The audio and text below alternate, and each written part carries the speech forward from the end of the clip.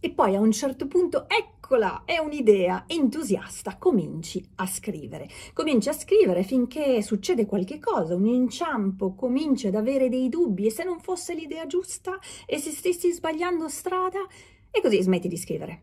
Alle volte va in questo modo, altre volte i dubbi arrivano ancora prima di aver iniziato a scrivere, altre ancora di idee, ce ne sono talmente tante che non sai bene quale scegliere. Ma come si fa a capire che un'idea vale la pena, vale il tempo, l'energia quindi è una strada che dovresti percorrere? Beh, ti do qualche, qualche consiglio. Per prima cosa, testa la strada prima di percorrerla. Un'idea non te la devi soltanto tenere in testa, questa è una fase però comunque molto preziosa, comincia a buttarla giù sulla carta, comincia ad a scomporla, riassemblarla, eh, stressala, mettila un po' alla prova, semplificala, scalettala, allargala, insomma, cerca di metterla a nudo. Nel momento in cui la metti sulla carta già la osservi da un punto di vista differente e puoi già in questa fase vedere se prendi un respiro maggiore, se si struttura, se ti convince davvero o se persiste, come dice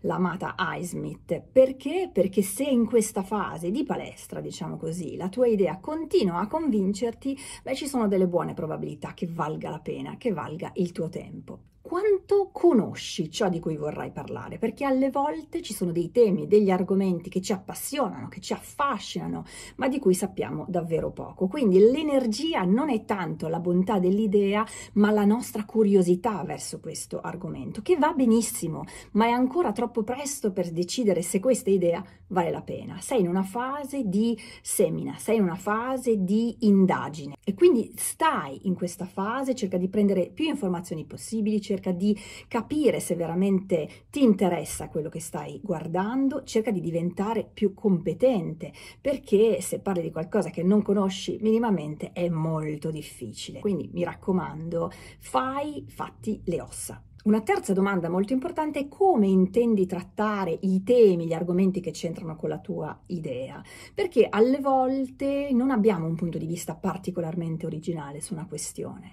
E invece sarebbe interessante e importante permettere ai lettori di vedere le cose che credono di conoscere da un punto di vista un po' diverso. Spesso la fatica più grande consiste nel rompere uno stereotipo oppure utilizzarlo in maniera originale o differente, quindi domandati quando quanta familiarità hai con ciò che conosci, quindi quanta possibilità hai di dire qualcosa di non banale su questo argomento. C'è poi una questione molto delicata, cioè hai il diritto di parlare di ciò che ha a che fare con la tua idea. Ci sono dei temi, ci sono degli argomenti che magari vanno di moda, diciamo così, o sembrano essere toccati da tante persone perché, perché c'è curiosità a riguardo, ma tu hai il diritto di poterli affrontare o perché li conosci davvero molto bene e quindi hai imparato nel tempo a parlare di questi argomenti, sei titolato, sei titolata, oppure perché hai dalla tua tua tanta esperienza personale, quindi è qualcosa